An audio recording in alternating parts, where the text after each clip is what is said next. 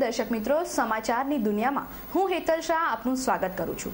સમાચાર વિગતવાર જોતા પહેલા એક નજર આજના મુખ્ય સમાચારો પર. બાજવા મેઇન રોડ પર આવેલી મારુતિ નંદન સોસાયટીમાં બિસ્માર ખખડધજ રસ્તાને કારણે સમયસર સારવાર ન મળતા લકવાગ્રસ્ત કિશોરનું મોત. ગોત્રી વિસ્તારની સંખ્યાબંધ સોસાયટીના રહીશો દ્વારા ભરવાડોના ત્રાસથી ગોત્રી વિસ્તારને મુક્ત કરવાની માંગણી સાથે કમિશનર તેમજ મેયરને આવેદનપત્ર સુપ્રત. છેલ્લા અઢાર અઢાર વર્ષથી હેન્ડપંપથી પીવાનું પાણી મેળવતા રહીશો હેન્ડપંપ બંધ થઈ જતા પાણી વિહોણા. ચૂંટણી સમયે વોટ માટે મોટા મોટા વાયદા કરતા કાઉન્સિલર સામે આક્રોશ. સેવાસદન દ્વારા દૂધ અને દહીંમાં એક સાથે પગ રાખવાની નીતિ. એક તરફ વૃક્ષો વાવવાની વાતો તો બીજી તરફ સેવાસદન દ્વારા જ વૃક્ષોનું નિકંદન.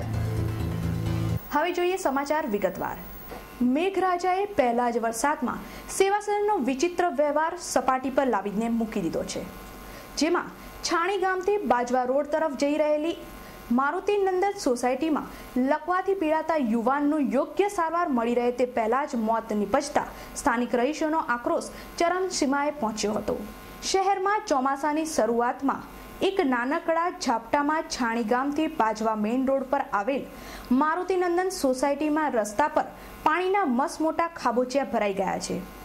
આ સોસાયટીમાં રહેતો લકવાના રોગથી પીડિત સોળ વર્ષીય કિશોર હિતેશ રાયની ગત રાતે તબિયત લથડતા એમ્બ્યુલન્સની સેવા પણ આ સ્થળે પાણી ભરેલા રસ્તામાંથી નીકળી હિતેશ સુધી પહોંચી શકી ન હતી. બિસ્માર રસ્તાના કારણે અહીં રિક્ષા પણ આવવા તૈયાર નથી હોતી. અંતે સમયસર દવાખાને લઈ જઈ સારવાર ન મળતા લકવાગ્રસ્ત હિતેશ રાયનું મોત નીપજ્યું હતું.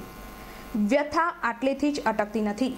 મિત્રો, હિતેશના મૃતદેહને અગ્નિદાહ માટે ખખડદજ પાણી ભરેલા ખાડાવાળા રસ્તામાંથી લઈ જતા કલાકો નીકળી ગયા હતા.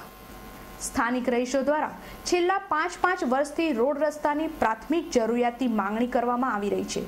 પરંતુ તંત્ર ઠેરના ઠેર જ છે. કદાચ હિતેશ રાયનું કરુણ મૃત્યુ સેવાસરની આંખની પટ્ટીઓ ખોલે. મને જે છે. અહીંયા રોડ ખરાબ છે. કોર્પોરેશનમાંથી મારે ગાડી મંગાવી પડી અને કોઈ આરો નથી. કોર્પોરેટરને ફોન કરવા છતાં એ લોકો આવતા નથી. રોડ માટે કેટલા અમારી સોસાયટીએ વાત કરી. છતાં કશું થતું નથી. આજે પાંચ વર્ષથી આજ છે કશું જ કોઈ આપતું નથી ધ્યાન. એ આવતા જ નથી યાર. આ સમગ્ર ઘટના બાદ સ્થાનિક રહીશોનો આક્રોશ ચરમસીમાએ પહોંચતા સમગ્ર મોરચો છાણી ગામની કોર્પોરેશનની ઓફિસે પહોંચ્યો હતો અને ત્યાં ભારે ઉગ્ર બોલાચાલી સૂત્રોચ્ચાર કરી તોડફોડ કરવામાં આવતા મામલો વધુ ગરમાયો હતો. ઓકે?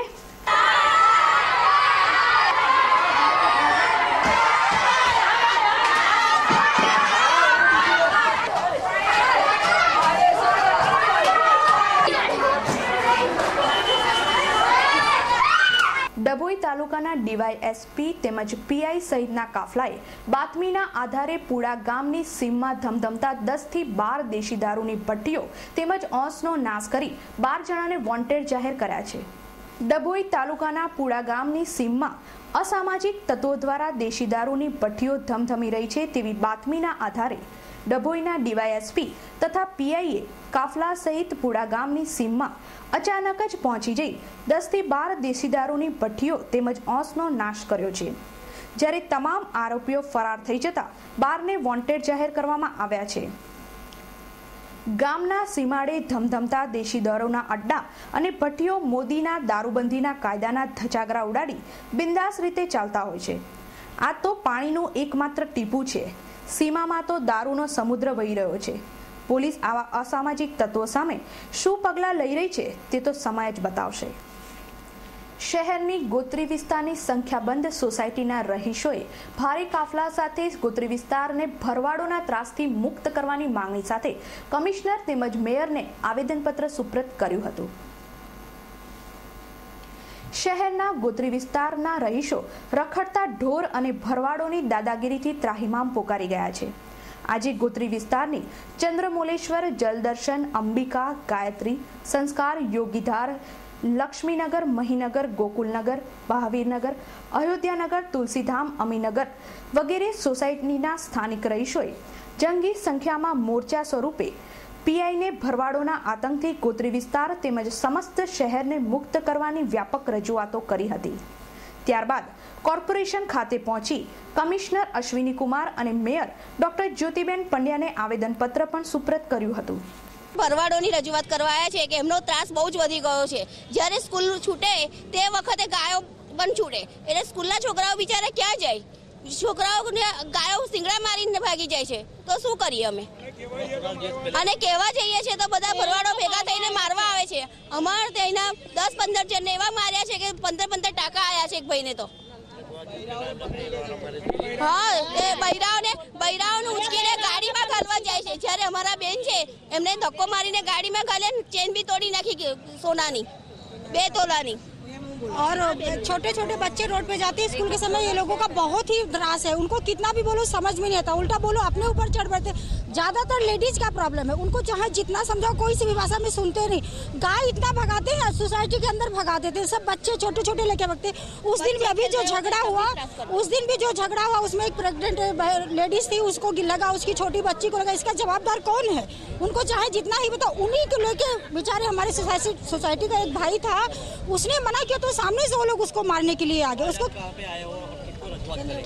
हम तो कमिश्नर ऑफिस आए हैं और हम ये भड़वार लोगों के उसमें आए हैं कि भाई ये हमको इतना मतलब नहीं चाहिए त्रास ये लोग हम लोग कंटाल गए उनसे आदमी हमारा ऑफिस जाए नौकरी जाए धंधा जाए कहीं भी जाए हम लोग लेडीज घर में रह के सोसाइटी में आके वो लोग घर में घुस के मार जाए ये तो गलत बात है ना શહેરમાં વિવાદાસ્પદ લાલબાગ બ્રિજ અને કલાલી બ્રિજનું બાંધકામ એક સાથે શરૂ કરવામાં આવ્યું હતું પરંતુ રેલવે દ્વારા કલાલી બ્રિજને પરવાનગી ન અપાતા તેનું બાંધકામ હાલ બંધ કરી દેવામાં આવ્યું છે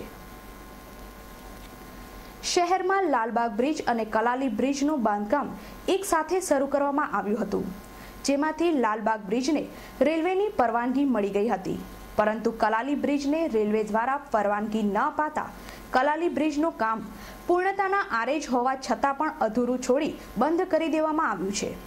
લાલબાગ બ્રિજની વિચિત્ર ડિઝાઇનનો વિવાદ અને ત્યારબાદ કલાલી બ્રિજનું કામકાજ અટકી જતા શહેરીજનોમાં કરોડો રૂપિયા ગટરમાં ગયા જેવો ઘાટ ન સર્જાય તેવી ભીતિ સેવાઈ રહી છે.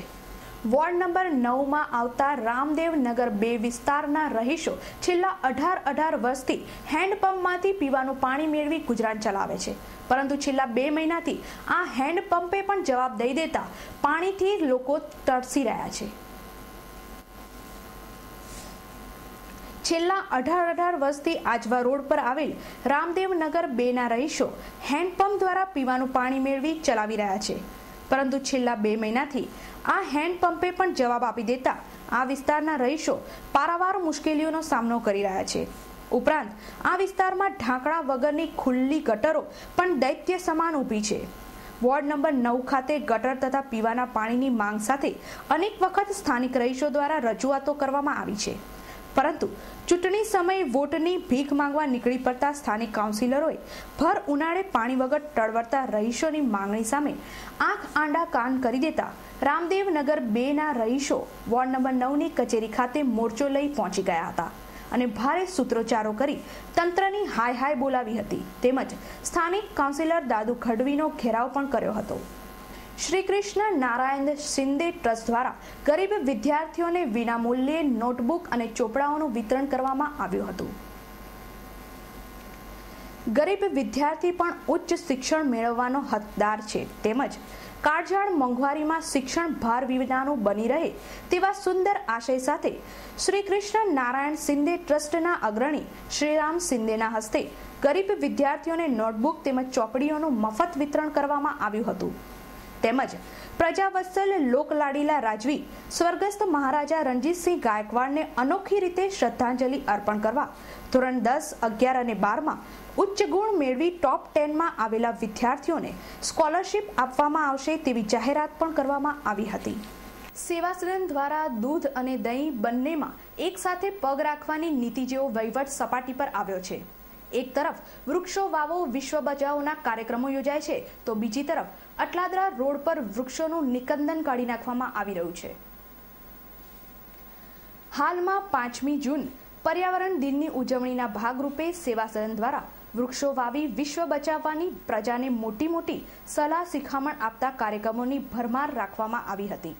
તો બીજી બાજુ, વિકાસના પીપુડા વગાડીને રસ્તા પહોળા કરવાના બહાને અટલાદરા ખાતે વર્ષો જૂના વિશાળકાય વૃક્ષો કાપવાનો કોન્ટ્રાક્ટ આપી દેવામાં આવતા આજ રોજ ત્રણ વૃક્ષોનું નિકંદન કાઢી નાખવામાં આવ્યું હતું.